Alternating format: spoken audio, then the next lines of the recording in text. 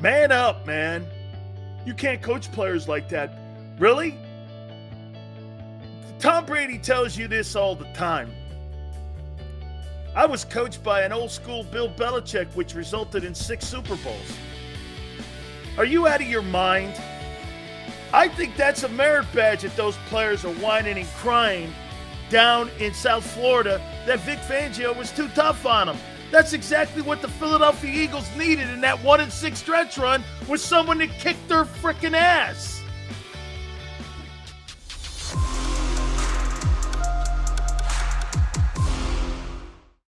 So, do the Eagles have a problem? Do the Eagles have a problem in Vic Fangio? Miami players are saying that Vic Fangio is a horrible person and a horrible coach.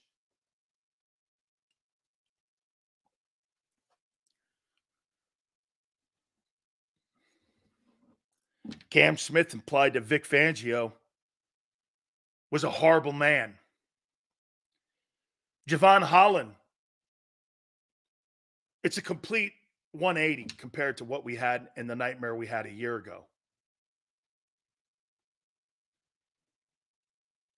Style of coaching, his 34, his my way or the highway.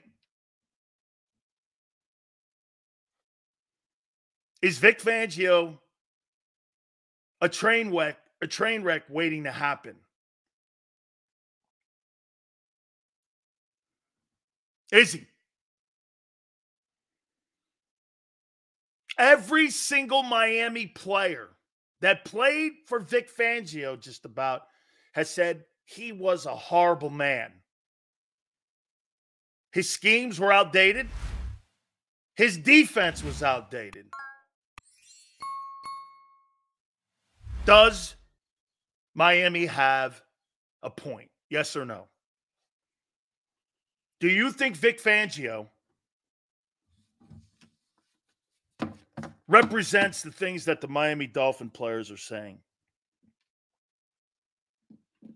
Miami's full of divas. Martin says no. Um,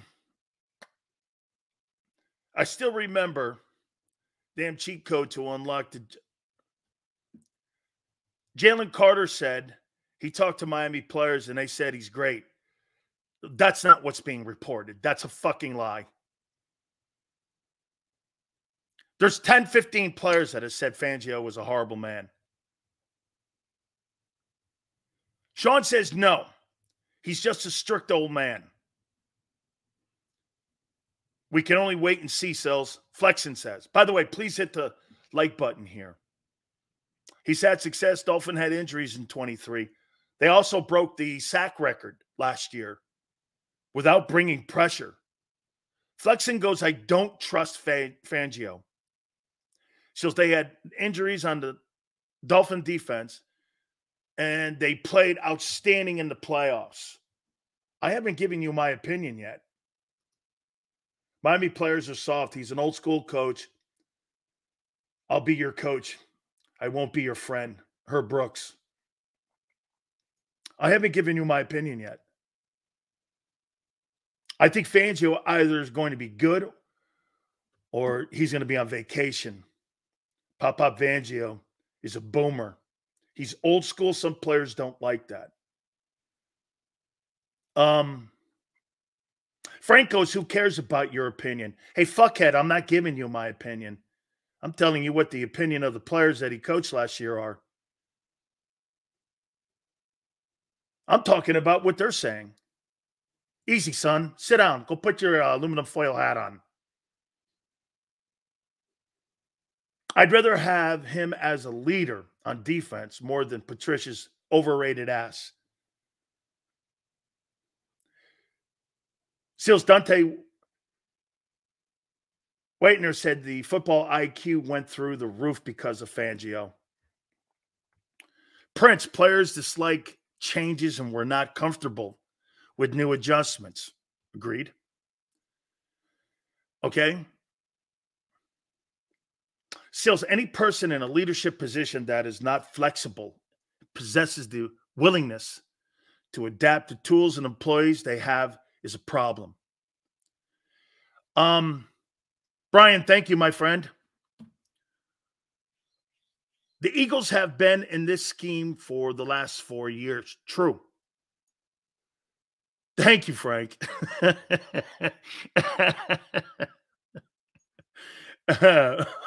hey, Frank. Frank, can I tell you that? Xander, put Frank up there. Frank, you're the type of guy that I love on this program. hey, Sileo, fuck you. Here's my like.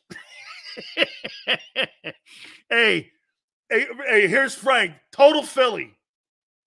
Total Philly mentality. You ready? Hey, Sileo, fuck you. Here's my like. You guys never stop, man. You never stop here. Miami players are pussies. okay. Here's Big Sills' opinion. Hey, Miami players, go suck on a big one. Hey, man, you're pussies. Plain and simple. You don't like it. No one, you're gonna. I don't like what my coach is telling me. Shut the fuck up. Honest to God, man. Holy shit. Guys trying to bring some discipline to your undisciplined culture in South Florida. Man up, man. You can't coach players like that. Really?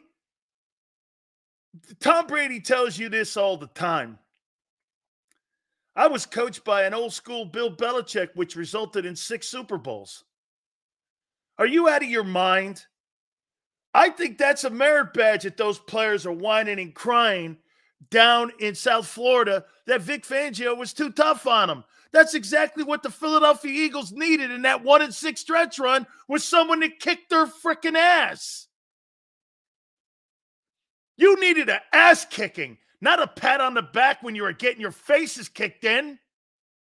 You need someone in your ass telling you you're losing it, son. Not is everything okay? I don't want players like that on my team. I'd take a lesser guy on my team. I would take a lesser dude on my team that was allowing me to coach him and get the best out of him I can versus people who complained and bitched about a scheme. Play the fucking scheme you're in, son. I'm the coach. You're the player. Know your role. Know your role. You want to know why the Miami Dolphins were a cheap off Fendi bag? Because they were frauds as players. You get no tough guys down there on defense. You know what you have? Complainers. No wonder the Dolphins have an ID problem. They got an identity problem. You know what it is? You're soft. Hey, the Philadelphia Eagles may have fell apart, but have you ever heard me use the word soft on them? No. The Eagles aren't soft. They just don't have the right players on the roster. But I wouldn't call anybody soft. Is Slay not the greatest tackler? He's still a Pro Bowler. I mean, you know, Vic was really mean, and he listen how this sounds. This listen how this sounds. And I'm going to do this like a wimp. Vic was really mean. He's a really grumpy old man. And you know what?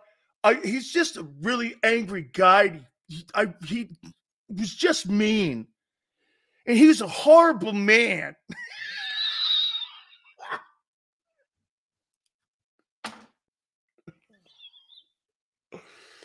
oh my God. If that was my football team and that was the head coach and I'm Mike McDaniels, and I would look at that and go, guys, shut up. You're making us look like worms. Oh my God. Almighty. It's 180 degrees. Why? Because this guy's patting you on top of the head, telling you how great you are and motivating you the way you want to be motivated, like you're in a kindergarten. National Football League's not kindergarten class, son. It's show up or get out. There's no bell curve. You're either going to get the job done or you're not. Like, there's no bell curve in the NFL. Well, he's kind of good. I don't know. You're either good or you're not.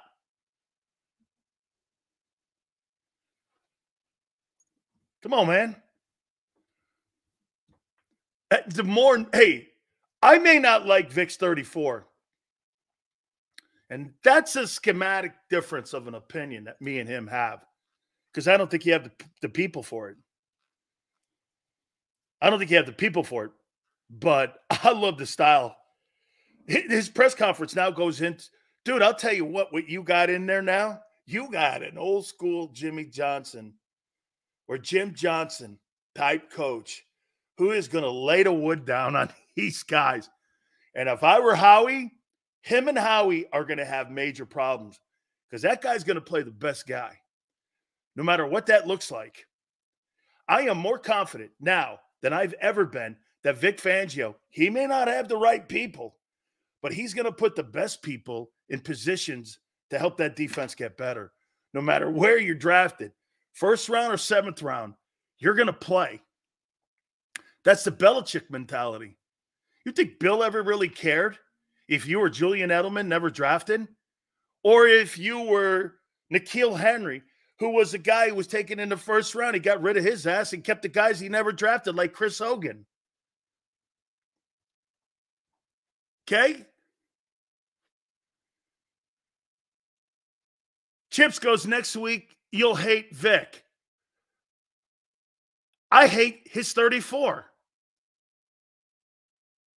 Two things can be right, dude. You don't have the people for running his 34, but he's going to get in people's asses.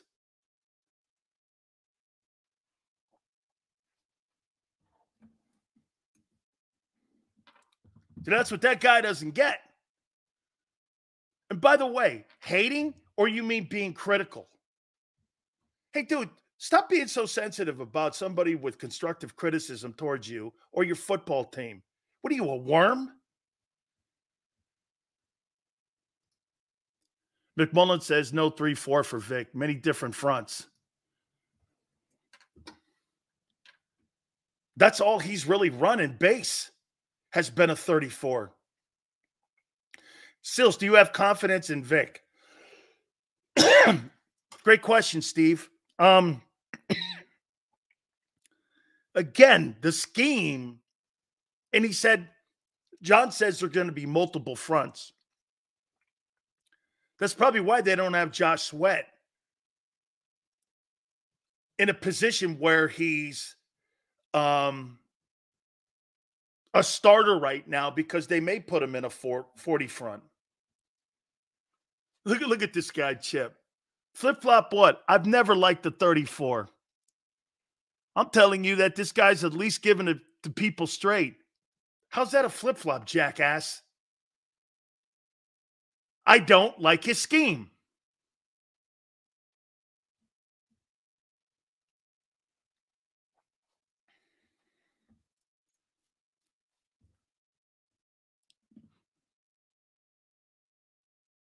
I'm going to be honest. I'm going to be honest. It doesn't seem right to run a 34 when the linebackers are the main part of it with less talent at linebacker. David, what John is telling Xander being out there is that they're going to run multiple fronts. Okay. That means that means less playing time for Jordan Davis. That means Jordan Davis's pick will be even lesser of an impact on your team if that's going to be the case.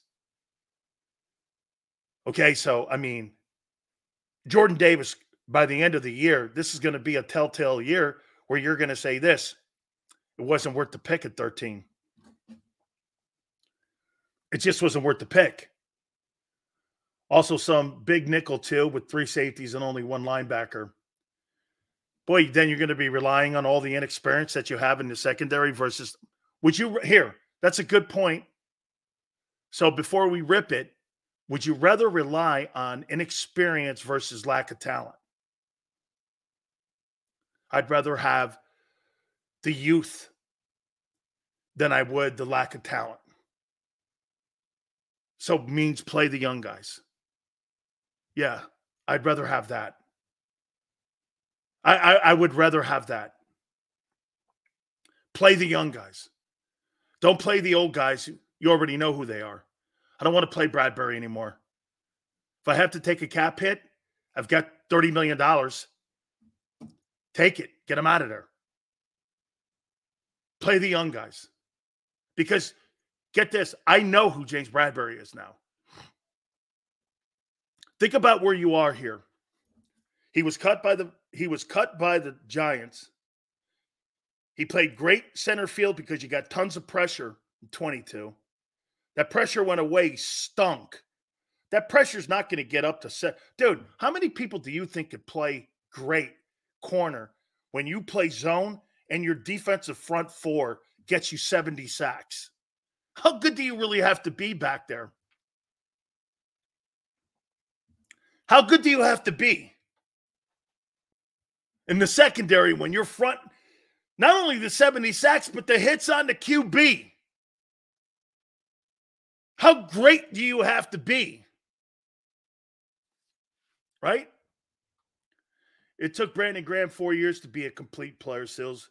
You need to give Jordan Davis the same opportunity. If if he cut off the donuts, I think he'll be a good player this year.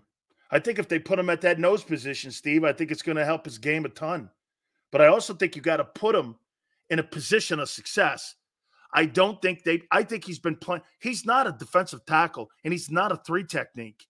He's a guy you play on the nose or in a one technique. And by the way, I don't, do I think he's a two gapper? I know I, they didn't two gap at Georgia. He's not. Sills, how are the Eagles going to get consistent pressure? That's a great question. Here, here's how you get great pressure stop the run, third and long. Give yourself an opportunity at pass rushing situations. By the way, this, I don't really, and I haven't studied Vic's twist, how he brings pressure how they do games. I haven't studied that. I'll ask Coach Wannstedt more about that.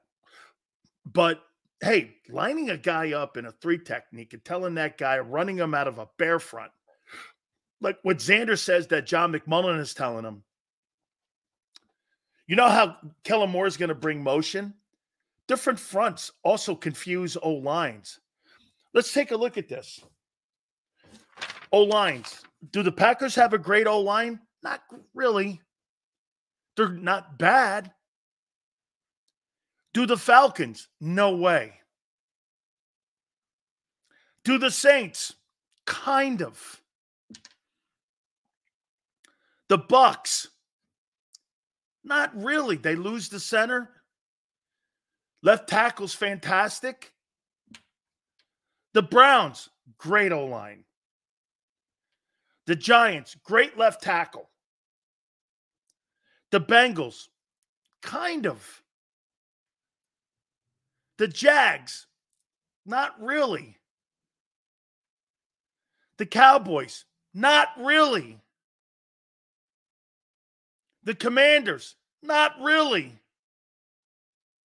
The Rams, getting better. Baltimore, it's not what it was two years ago, their O line. Panthers, better. Steelers, improving. I mean, are they really going against top? Here are the top flight O lines you're playing against Browns,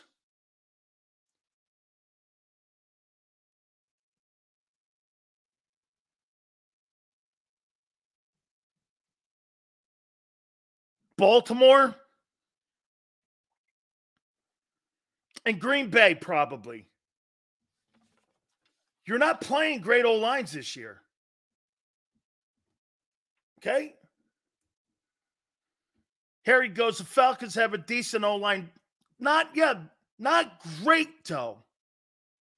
which means you can schematically scheme them up. Got a lot of new faces in there. Say this to you. Sills, is Jordan Davis in shape because he was driven to work hard this offseason, or did Clint push him? I think Clint had a come to Jesus conversation. As a matter of fact, Denny, I know he did. You know what? Here's what Clint Clint's a great coach. He won't be there next year. Clint will be a defensive coordinator somewhere in the league next year. Just so happens that he worked up with Pete Carroll and all those guys up in Seattle. He's a great coordinator. And he and I have had lengthy conversations about I'll flat out tell you what I told him about the two dudes. Davis is out of position. He's not a first and second down guy, or he's not a third down dude. I said, let me say something to you. I saw the greatest play in the history of defensive tackles for anybody 6'6, 350 pounds. I've never seen anybody run down Josh Allen like that. And that just showed me that he has that capability. The problem is, is that that kid, ever since he was at Georgia, has never been pushed to do that every single play. He plays like Jerome.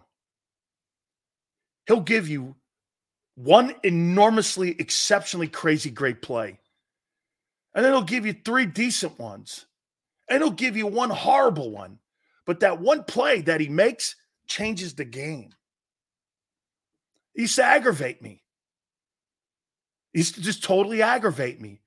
He would make these insane. He'd take three guys and just beat the shit out of them, get back in the backfield, tackle the guy. I'm telling you, I saw Jerome Brown in one game have an interception, a blocked punt, punt, blocked field goal, three sacks. He broke Troy Aikman's leg and he had 20 tackles. I'm standing right next to him. I'm going, I've never seen anything like this. It was a one man wrecking machine. You had to see it. And he was playing against guys who played in the NFL when they were at Oklahoma. I've never seen anything like it. He, and do I think he's got that capability? No, I think the other guy does. He's got that capability, Carter. Never seen anything like it. Never seen anything like it. And we were probably the some of the two best pairs of defensive tackles that have ever played the game of college football, he and I. And I've never seen anything like that to this day. Sills, is that when y'all flipped the Sooner Schooner? Yeah, they ran that shit they ran that shit through our uh, workout. Jerome goes like this: "You do that shit again, we're gonna flip that thing." They had these chick cheerleaders and the and the guy cheerleaders on this Sooner Schooner thing, and they kind of ran that thing in there, and um, they we flipped it right there at Memorial Stadium. Yeah, we guy. I knew somebody like JB would say we. Well, got to show you this here, man. This is really cool because somebody was talking about Jerome the other day, and they were talking about, um, uh, they were talking about he and I at Miami together. It was really cool too. What he said. Um, let me see here if I can find this. This is what. Uh, see if I can find that. I think you'll like this kind of give you an kind of give you Keith Jackson called that game. He sure did. He sure did call that game. It was was one of the great moments for our program when we killed that team. It's really fantastic, actually. Um Yeah, I gotta find that. I'll find it later on. Jerome's just fantastic. I think Carter has that capability to be that kind of guy. I really do. I think he's got that opportunity. And I think Vic's going to put him in that position to be able to do that. Oklahoma's okay because can't spell him, can't spell mediocre. I like it. Very cool. can't spell mediocre. Is that what you're saying? Okay, I like it. Yeah. Here it is right here.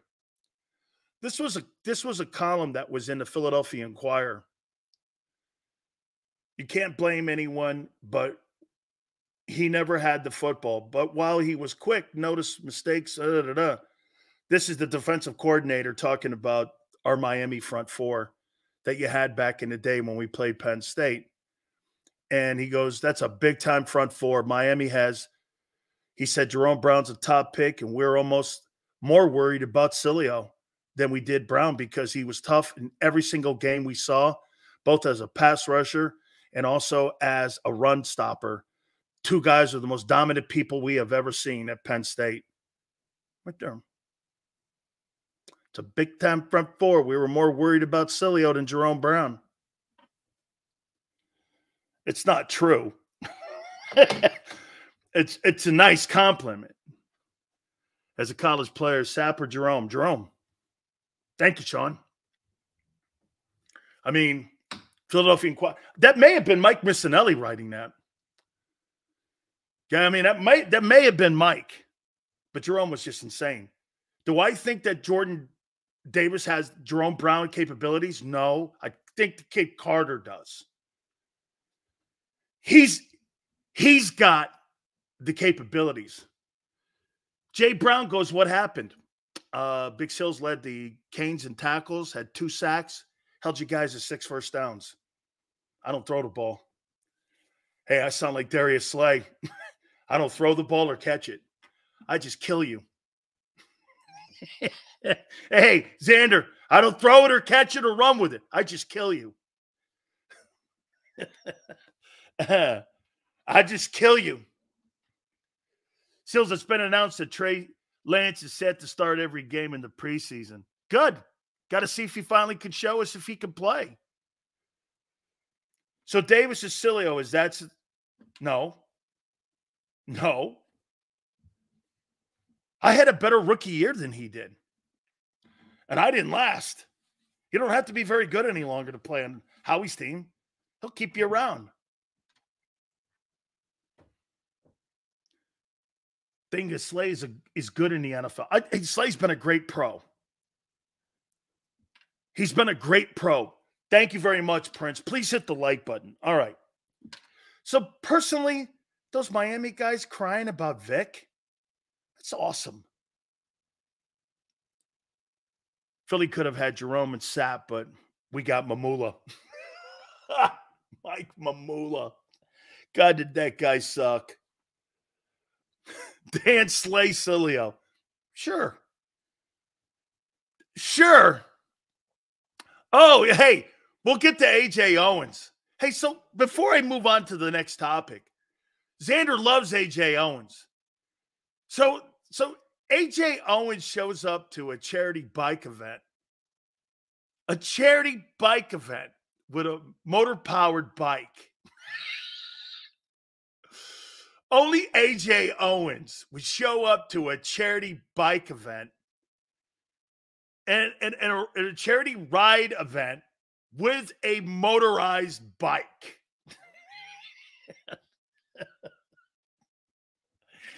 what a diva, man. Eh, I'm glad he showed up. The autism event's a great event they put on. AJ Brown, a Philly legend. Let's go, Sills. three yards, two years, 3K, two years. Epic. And a lot of whining. I gave him my money. I didn't get my money. Oh, I got it now. Oh, what? I'll be a weeder. Oh, yeah, well, we got my money. Guy cares about his direct deposit anymore does team wins. Remember, this guy was at a strip club when the Bucks were playing the Eagles in the playoff game. He's up at a strip club called Chez Paris on table seven with chandelier. Look at my team, man. They need me. yeah, that's a good one. He, he's a Chez Paris with chandelier. table five. Hey, whatever you do, don't eat the chicken salad. Don't eat chicken salad at a strip club, from what I'm told. Plus, had to show, oh, had to show off his motorized bike. Yeah. AJ Owen, man, hard at it. By the way, I think it's awesome that he showed up at the event. It's a really great event that the Eagles do. Can never go and say anything that they don't do great things in the community. Damn, Sills will do anything to talk about AJ AJ Owens. Yet, yet uh, Jalen Carter's back the entire time. Let's see here. Boxing match, Butthead. No, I heard it was a strip club, and he was up there throwing uh, 50 cent pieces at him instead of dollar bills. yeah, he's as cheap as Howie. yeah. Don't eat fish sticks out of vending machines. That's a damn good. I love it. With a fake knee injury, allegedly. Holy cow. Hey, Scale, do you work in the media? You must work in the media. Hey, he had a fake knee injury, allegedly. Mark Farzetta is going to join us, by the way, at 4:30. Please hit the like button. You guys are killing it, man. We're doing a good roll here. All right. We're not taking a time out here. Not happening. Because I got a really great topic here. Sills needs AJ and Nick in order to have any content. Are you kidding me? Those guys are gold. Absolutely. Are you crazy? Who's going to give me content? Nakobe No Play Dean? Let me guess. Hold on. Who who else? Devin, I've been fired white. Who else? Oh, it hurts. Oh, God, he's legendary Philly gold. Congratulations, kid. You figured out sports talk. It only took you three years. Holy cow, this guy has an epiphany right here on our program. Take a bow, guy. You figured out sports talk. Way to go. Nick slander? Oh, wait, you haven't heard the best of it yet. Hey, J Bone, you haven't heard the best of it yet. Absolutely. His new hate is on Barkley. No, I have no hate. His impact is going to be as a blocker, not as a runner. Sills, where's Mark Holmes? Man, I hate to tell you this, man. I think you guys ran that dude off. I texted him. He won't even text me back now. It's all right. It all happens like that. Very simple. Just another dude. It's what it is. I'll forget him like I forgot that one guy that used to come on the program. Yeah. He texts me again. I said, text Sills. He's afraid to text Sills. See, I do that to people. As my wife would say, you can be intimidating. Cosmo goes, is so Holmes is soft. Well, like the Cowboys. That's right, Steve. Just a dude. he said, back on track next week, but we'll see about that one. Dude, Philly fans, you ran out Ben Simmons and Mark Holmes. Holy shit. you guys ran out Mark Holmes. Whew. Boy, is he going to get killed by you. If I were him, man, I wouldn't show my face next Wednesday. I might want to. I'm, hey, I might want to take a knee on this one. I just, I might want to take a knee. You, you are not. Hey, you are not going to be kind to him. Eh, hey, you are not going to be kind to that guy. That guy is. Hey, Twiz, you better tell your boy. I know he's your boyfriend. You better tell him, Twiz. This is all your bullshit. Okay, you better tell him, man. He's going to be called Ben. Mark Ben Simmons Holmes is his new name. And you tell him I said that. Philly 500 gave him a beating.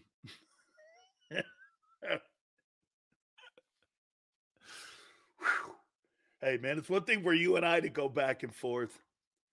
But, man, you guys took a sledgehammer to that guy. Even Soup beat his ass. Hey, Twiz, your boy, he's soft. He's soft as Charmin paper. Big Marshall, I told you Mark Holmes was a bum. he used to. he used to get. out of he's out of his grandma's basement. Marshall, thank you very much for the super chat, dude. Oh, uh, can we get Sills a translator? Uh, uh, wait, is that a translator during the season? Sorry, dude. What are you talking about? A, a tesserator? A tesserator? What is that? You're going to have to speak English, guy. I'll need a Shohei Ohtani translator. All right.